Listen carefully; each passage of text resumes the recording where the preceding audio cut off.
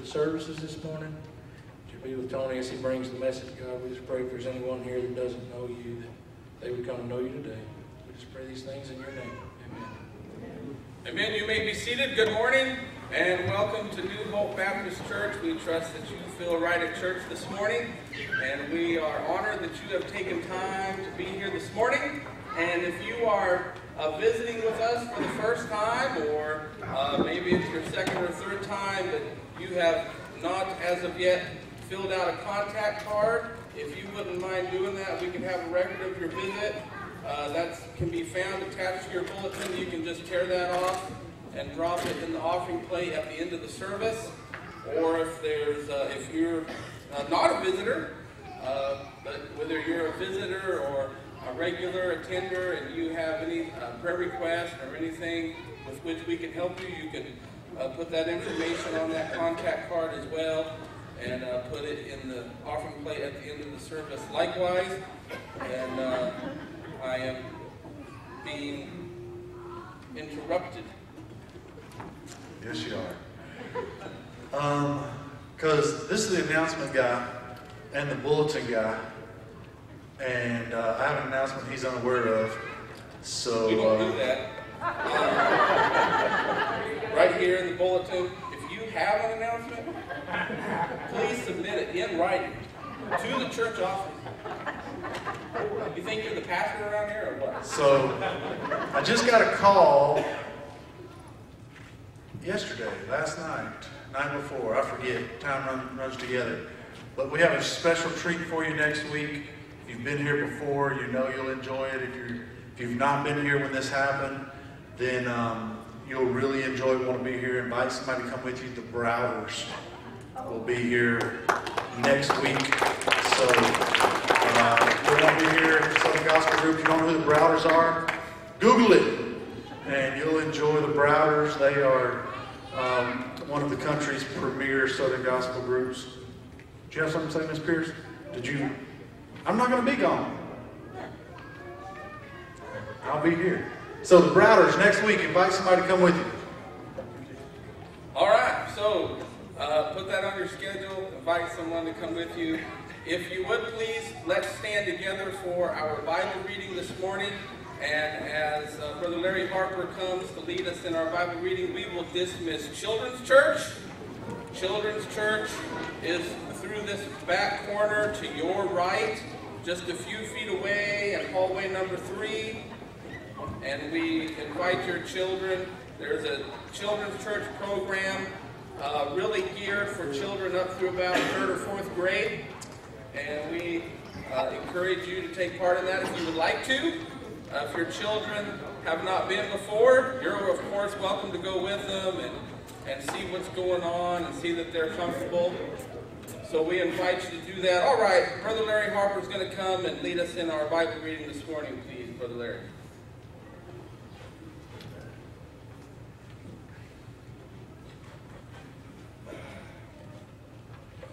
It's my pleasure to read our Lord's Word to you this morning. We're in the book of Matthew, chapter 25, Wise and Foolish Virgins.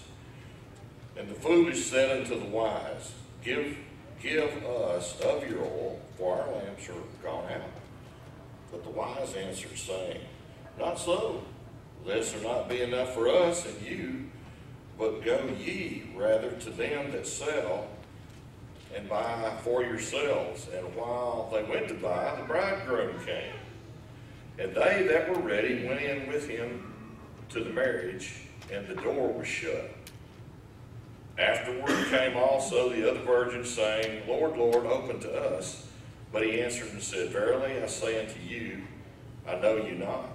Watch therefore, uh, for ye know neither the day nor the hour wherein the Son of Man cometh. Let's bow our heads for prayer.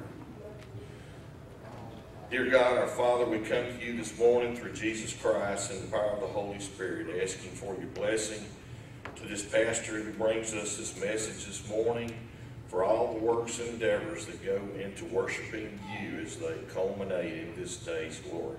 Forgive us of our sins. These things we ask in Jesus' name.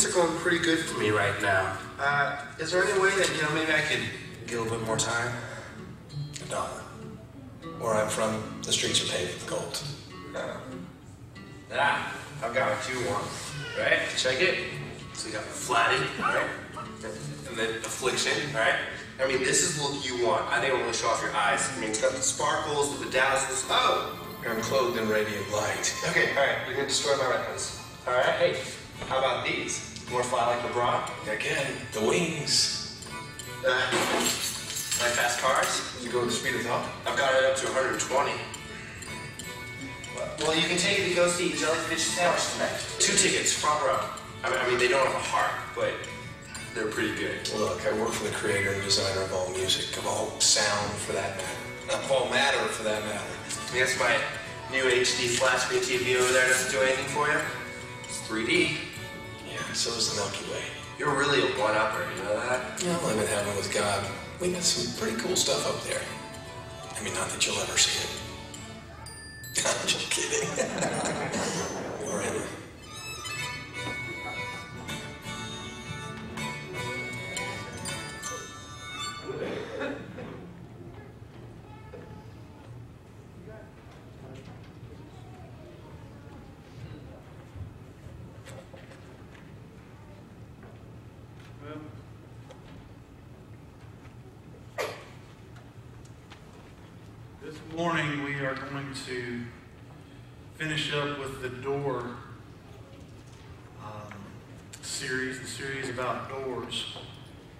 talked about the door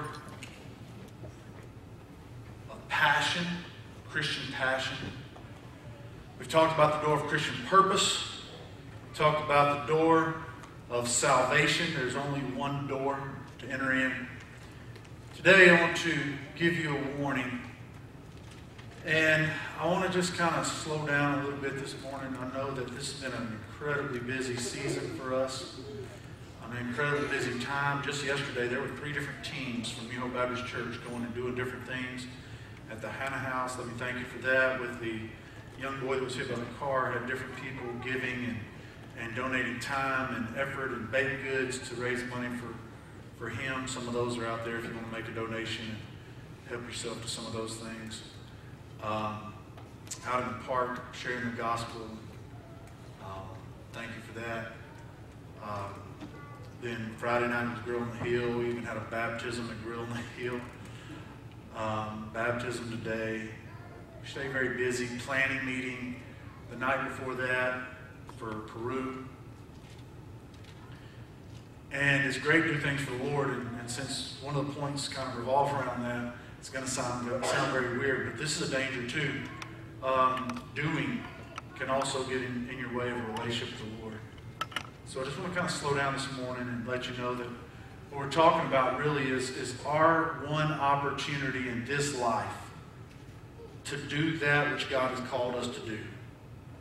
And if you're not careful, You'll get so busy and you'll get so distracted that you forget to do that which you were here to do.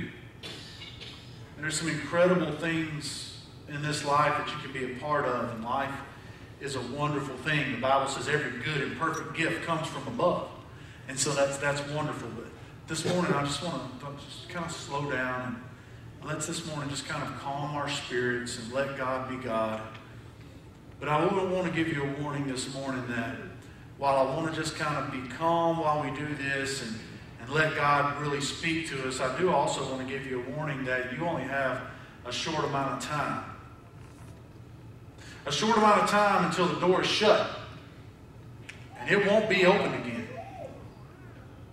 A short amount of time until the Bible tells us here the parable of the ten virgins, where there were ten virgins who were there, and back in the New Testament day, in the the Middle Eastern culture, a wedding could last up to three days. Thank the Lord that I don't live then.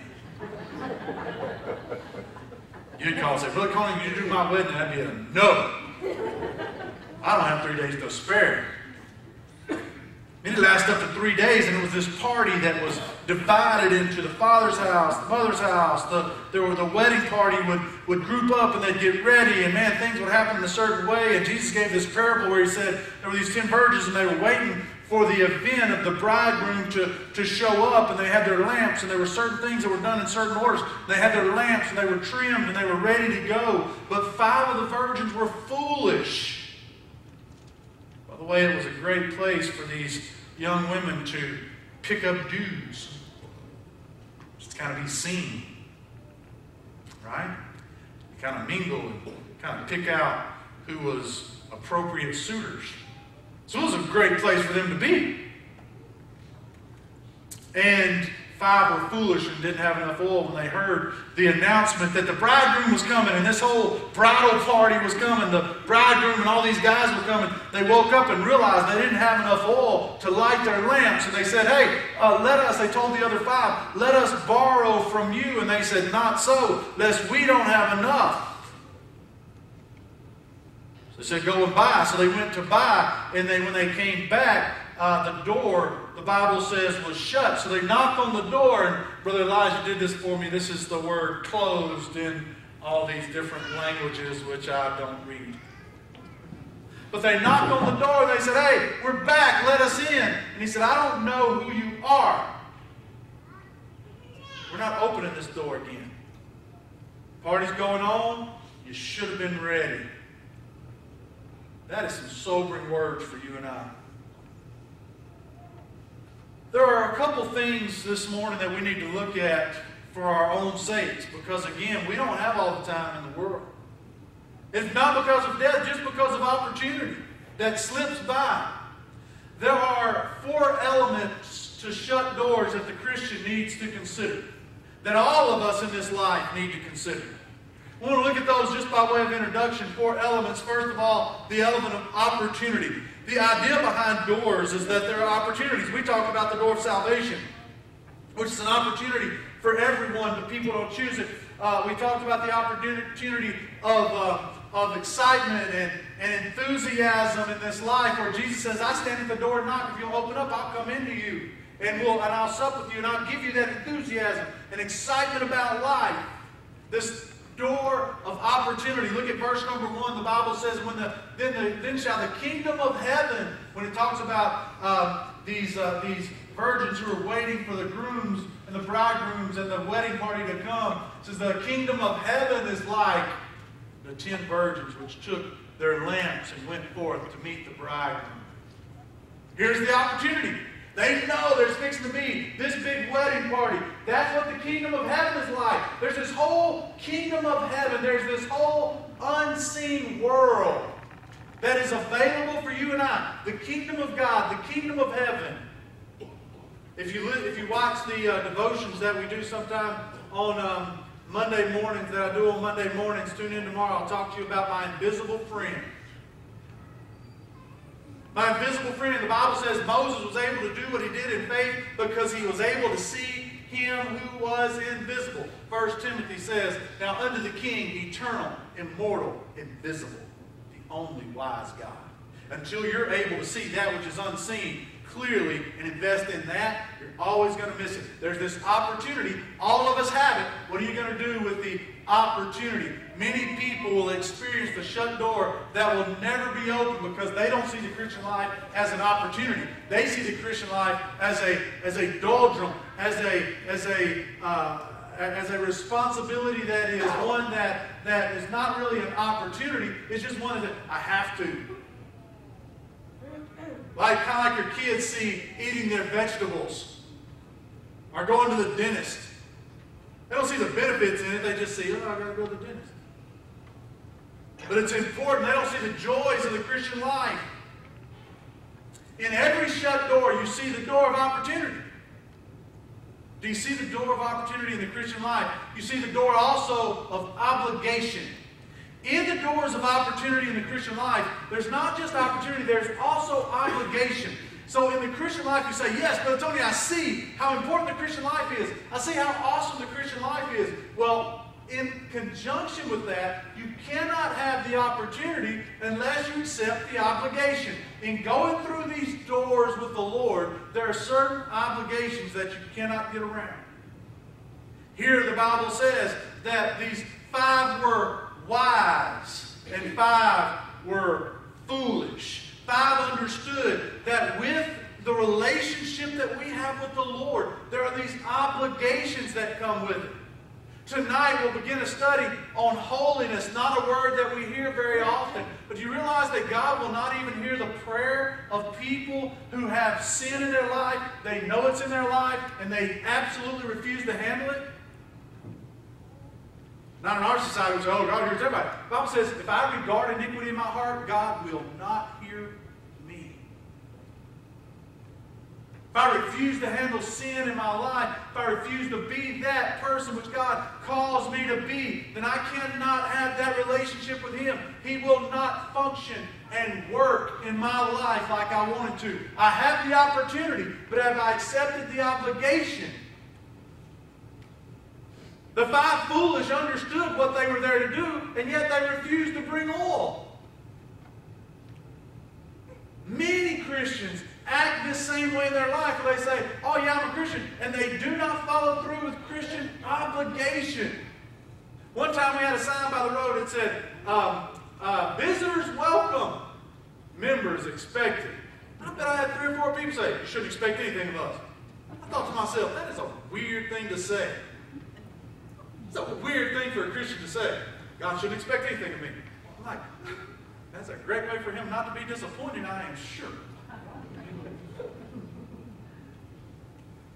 Do you expect anything? Uh, if you seen the, the, the, the uh, uh, commercial of the security monitor, some insurance commercial, I'm not a security guard. I'm a security monitor. I'm just here to tell you if you're being robbed. You're being robbed. I need some help, right? You have certain expectations in your life of Christians. When you step through that door, we'll talk about those obligations, the wise and the foolish.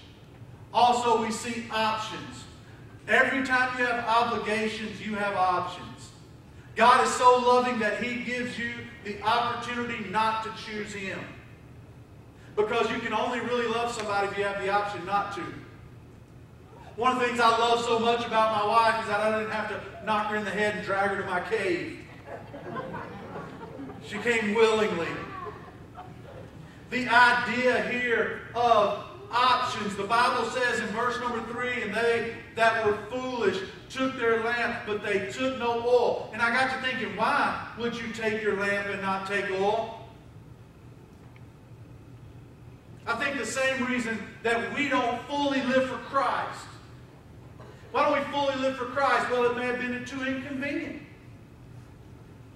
Carrying extra oil, where would I carry it? It may be heavy, it may be cumbersome. Maybe it was too expensive. How much is it going to cost? What am I going to have to not carry? What am I going to have to not have if I go and buy extra oil?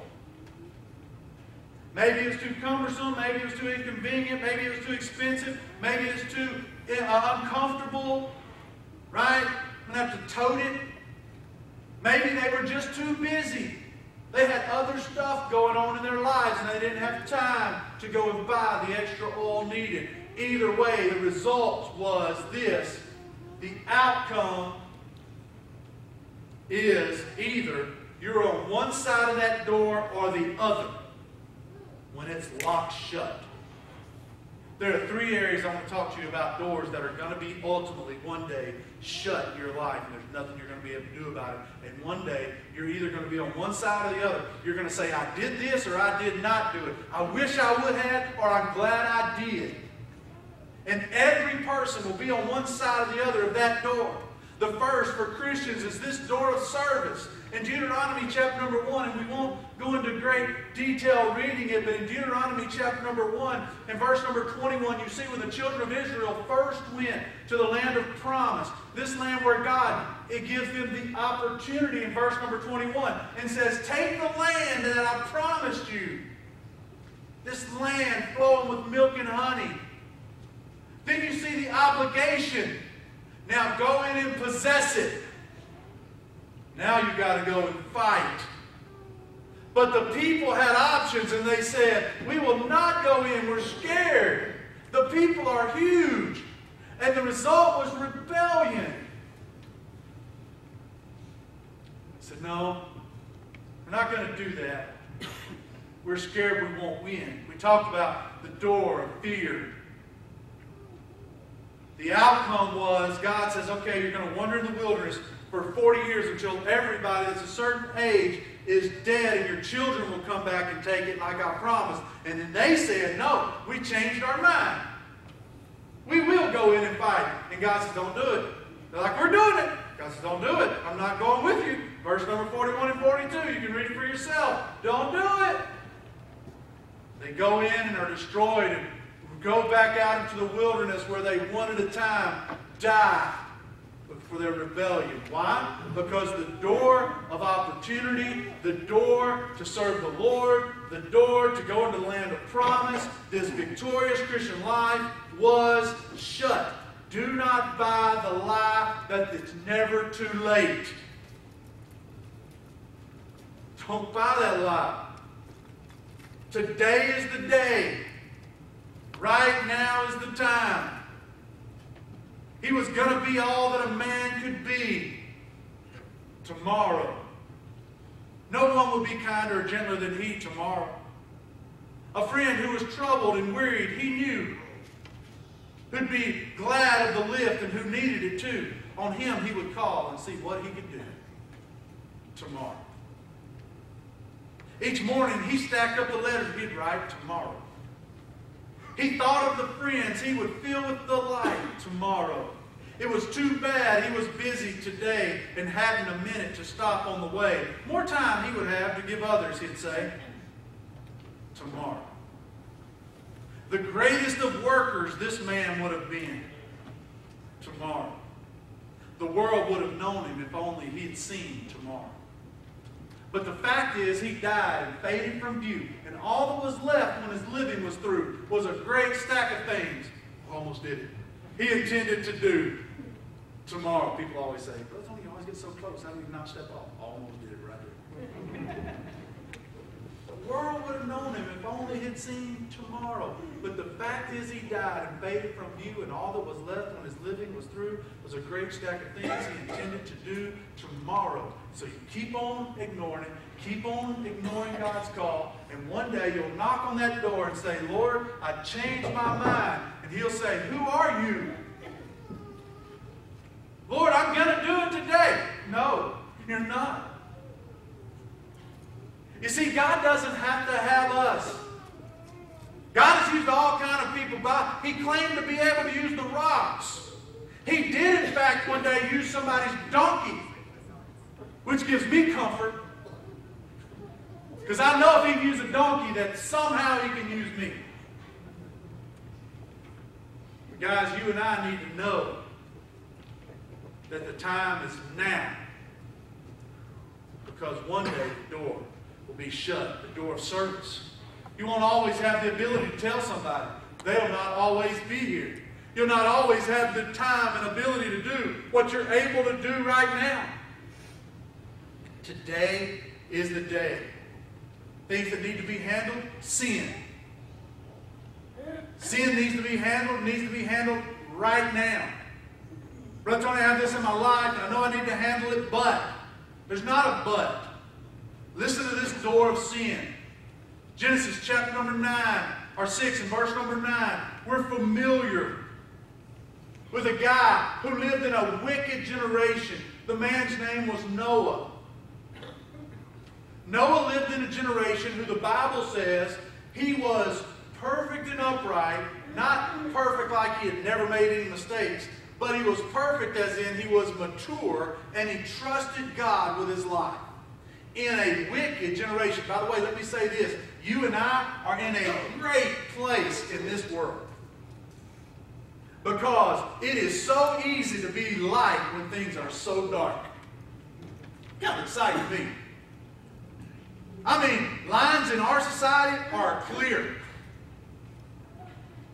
I had somebody over the house one time. I said, "Hey, let's do something. Let's um, let's turn the TV on, and let's turn it every time something that doesn't honor God comes on. Ready, go." It didn't take us no time. Almost got carpal tunnel.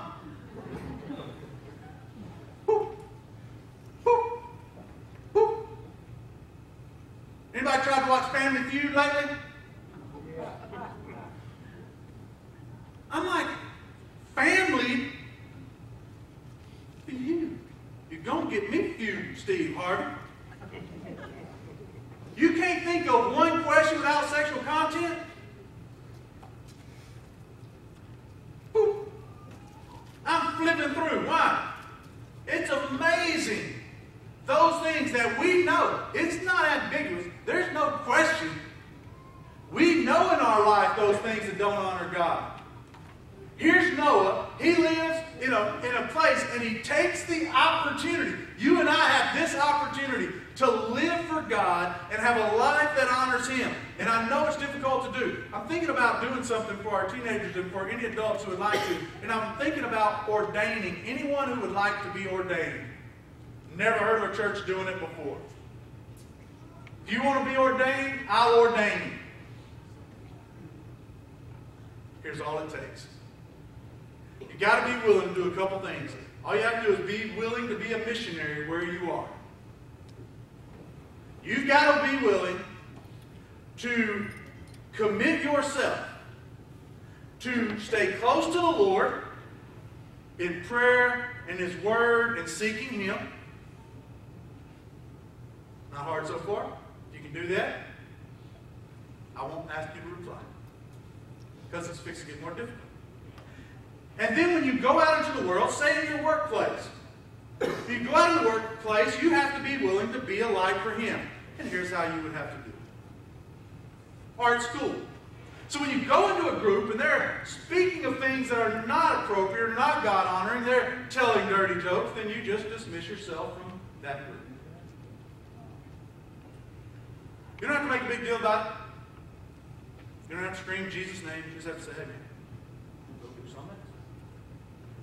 And when they're watching stuff or looking at stuff that they shouldn't be looking at, 77% of men have looked at pornography this week. Almost 20% of women this week. Do you have to be willing to say, nope, not involved? When they do things that you know are not God honoring, when they go out to the truck after work and break out the alcohol, you know. When they invite you to the bar, you know. You just have to be willing to say, I'm not going to be a part. Then, when you get a chance, you have to be willing to point them to Christ in some simple way. This is what I love about my Christian life. This, I think, would help you. And you can be ordained to wherever you are in this world. When they curse, you don't curse. Simple stuff that the Bible says do. We can't do anymore. Why? Because we are consumed by it. Noah was a guy that when he was at the restaurant, people knew who he was. There's Noah. Old Bible thumping Noah. He thinks God's going to make this big difference in his life. Oh, Noah. Yep. Why? He just had the opportunity. He said, I'm just going to stay close to the Lord. The Bible says he was upright in his generation. There was an obligation, though. You know what the obligation was? Look at verse number, chapter number 7, verse number 5. Here's what it says. And Noah did according unto, are you sitting down? All. Because here's what we like to do. We like to do what we like to do, but then there's just that little bit that we like to hold on to. Now, Noah, Noah said, I do all. All of it. If it don't look like Jesus, I like to let it go. Sins and weights. Give him a mule kick. If it's a sin, I'm getting rid of it. If it's a weight, I'm getting rid of it. If I can't share Jesus with you while I do it, I can't do it. It's got to glorify God in my life. Why? Well, he says, he did all the Lord commanded him to do. But there are options. What were the options? The rest of people, every imagination thought of their heart were evil continually, because that's where we end up going. Because sin is a monster of awful means to be hated is only to be seen, seen to all face to face, first to be tolerated, then endured, then embraced. You thought you had it, now it has you. Brother John, I like my freedom. Sin ain't the right way to have freedom, bro. I promise. I've talked to multiple people last week. I'm telling you, with God as my witness, I've talked to people last week, Brother Tony, I don't know what to do. I know you don't know what to do because it got you. That sin got you, and you don't know how to get rid of it. You don't know how to shuck it. My son would grab me from the laundry room when I come home from work when he was little, and he'd say, I got you. I'm like, you don't got me. I got you. Didn't even have to come and look for you. Ain't that how it goes? You think you got the casino? You ain't got the casino. They gave me a free night. They didn't give you nothing. They, they paid you to give you give them their your check.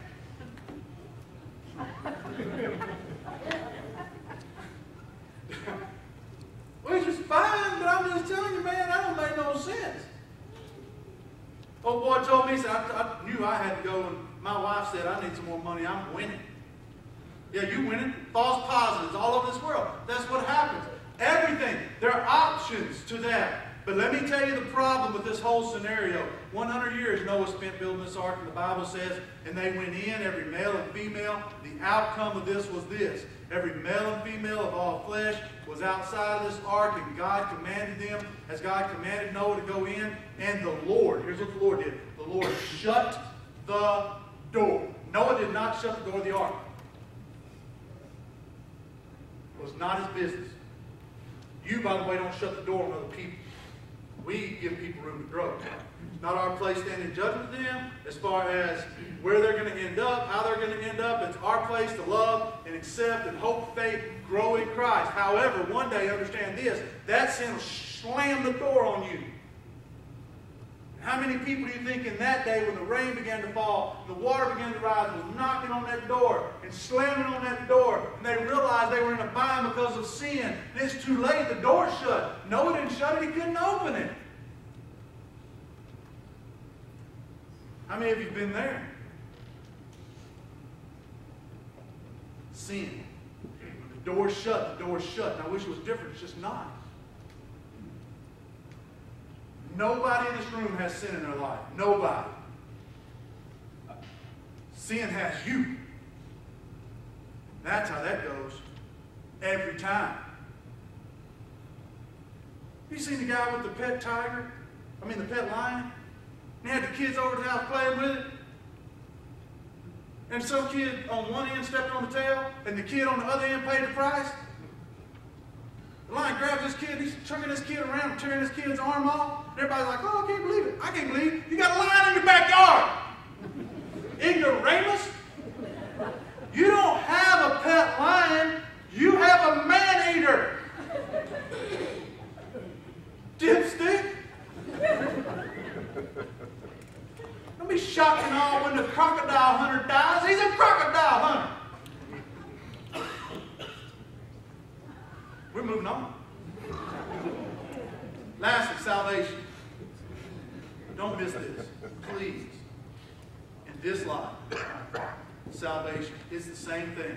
We have the opportunity, you and I have the opportunity, and this is really what it is. We have the opportunity to know, to know personally the King of Kings, the Lord of Lords, the God of heaven. God sent his Son in human form so that we could know him. We killed him. He died for our sins. Day after day, we try to repeat the process. We try to kill him and move him out of our lives, out of our way.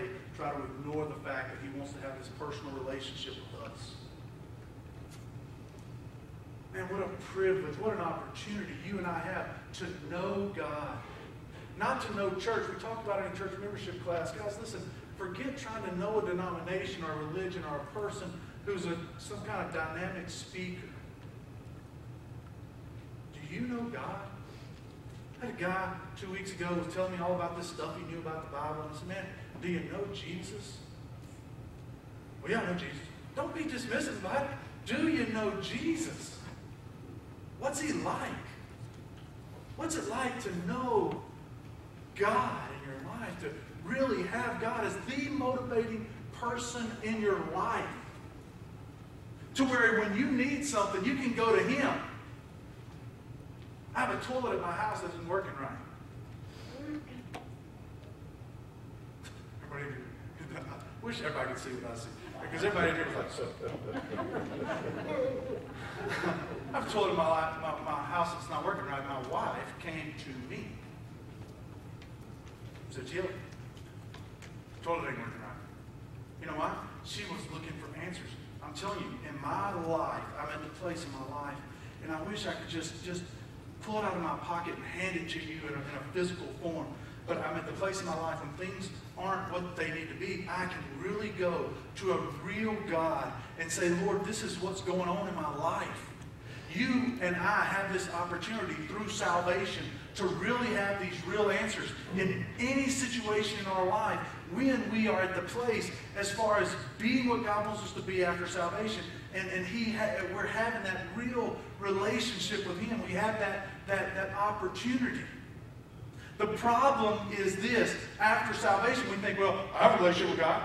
Because you have salvation and you just stopped it. You forgot that with salvation comes obligations. Imagine if my wife and I had, were on the outs. And we were fighting, which, by the way, uh, last week somebody asked about if we were divorced. I said, I don't think so. I'll ask her. so, no, if you've heard the rumor, um, no, not even arguing that I'm aware of. If we are, she's arguing by herself. But let's assume that we were on the outs with one another. Do you think that she would then come and say, uh, hey, uh, Tony, the, the toilet's messed up? I'm like, I don't care. What if she's having an affair?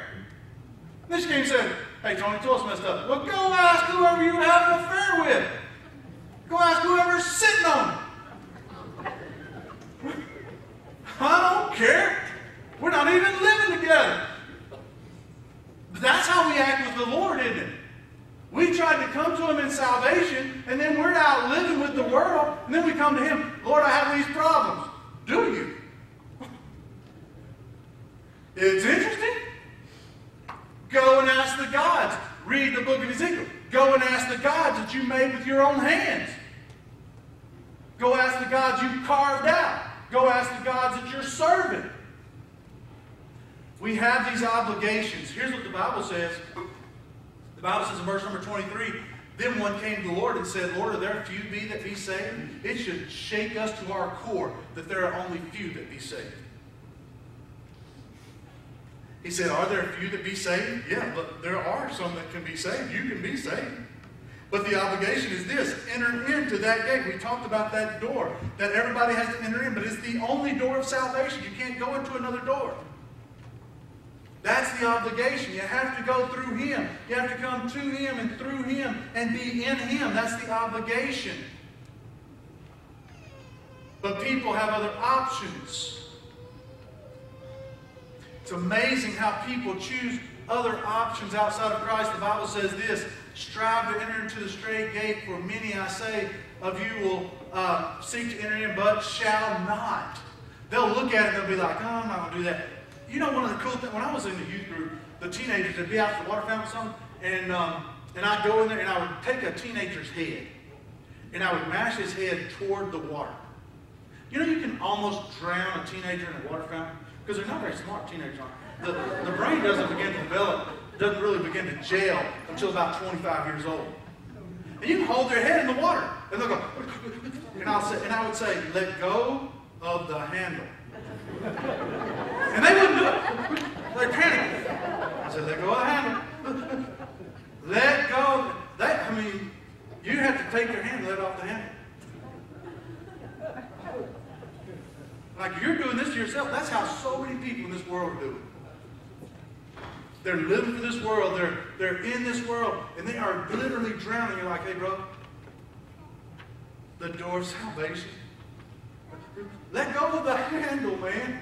You're, going, you're drowning yourself. You're trying to save yourself. You're trying to do things for yourself. It's not going to work.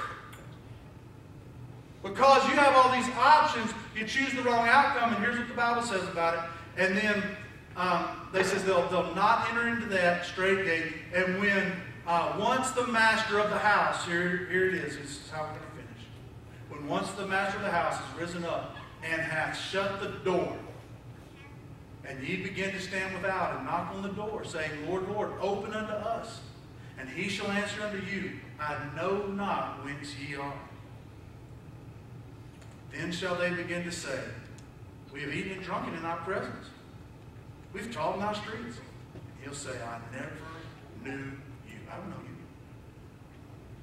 I don't know you. The door is shut. The opportunity you had, you had. When are you going to act? And what makes you think you would act differently tomorrow? Well, Tony, I'm going to I'm gonna think about it and, and we'll talk. Revelation says this in the last book of the Bible. Then he saith unto me, Seal not up the sayings of the prophecy of this book, because why? They still have time. The time is at hand. And he said that, and, and he that is just, here's what it says. He that is just, let him be unjust still. He that is filthy, let him be filthy still. He that is righteous, let him be righteous still. He that is holy, let him be holy still. And behold, I come quickly, and my reward is with me. There's the opportunity. And I give every man according to his work. That's how it'll be. If he chose me, that's how it is. But he that's just will be, un, will be just, and he that is righteous will be righteous. As the musicians come, someone wrote, The Spirit came in childhood and pleaded, Let me in. But oh, the door was bolted by thoughtlessness and sin. I am too young, the child replied. I will not yield today. There's time enough tomorrow. And The Spirit went away. Again he came and pleaded in youth's bright, happy hour. He came, but heard no answer. For lured by Satan's power, the youth lay dreaming. Then he said, Not today. Not till I've tried earth's pleasures. And the Spirit went away. Again he called in mercy in, man's, in manhood's glorious prime. But still he found no welcome. The merchant had no time. No time for true repentance. No time to think or pray. He sowed and sowed, repulsed and saddened, the Spirit went away. Once more, he called and waited. Man was now old and ill, and scarcely heard the whisper, and heart and cold and still. Go leave me when I need thee. I'll call for thee, he cried. And sinking on his pillow, without any hope, he died. And that, I'm afraid, is how many people are in their life. You know, I thought about it when I was a kid, and I just was just, you know, I was too young. And then when I was a teenager, I've had parents say, well, you know, they got to sow their wild oats. Oh, boy, that'll make me ground my teeth. So you know what you get when you sow wild oats? Wild oats.